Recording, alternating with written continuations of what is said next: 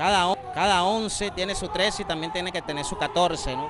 Nosotros sabemos que tenemos una responsabilidad que es mantener esta lucha, mantener esta Venezuela que estamos logrando y no podemos dejar que otras personas que no les interese esa lucha porque no, porque les duele el bolsillo, nos echen a Venezuela para atrás. Nosotros tenemos un arma importantísima aparte de la militancia que es el voto. Tienen que salir a votar y ya ustedes saben que si usted es chavista y usted quiere a Venezuela, sabe por qué tiene que votar y ese hombre se llama Maduro, eh, Nicolás Maduro.